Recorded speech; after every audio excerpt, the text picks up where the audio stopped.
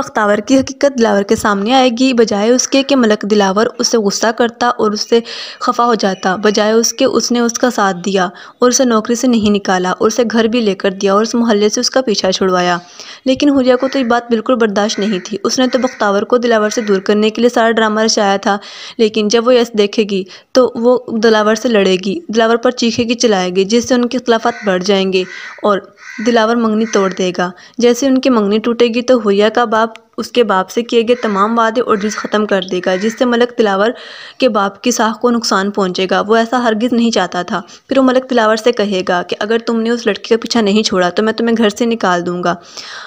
लेकिन मलिक दिलावर उसकी किसी बात की परवाह नहीं करता और उसकी मदद जारी रखता है। कौन कौन चाहता है कि दिलावर और बख्तावर की शादी हो? कमेंट करके लाजमी बताएँ और हमारे चैनल को सब्सक्राइब करें ताकि हर नई आने वाली वीडियो का नोटिफिकेशन आप तक आसानी से पहुँच जाए।